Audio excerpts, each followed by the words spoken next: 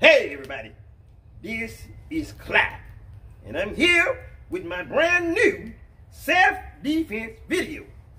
This video is for everybody who don't want people picking on them like do. I'm gonna teach you three easy ways to get out of a chokehold using Caleb the Karate Man as my example. Alright? Don't try this at home. Here we go.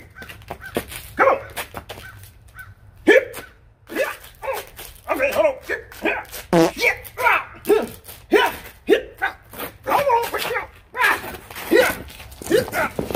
on,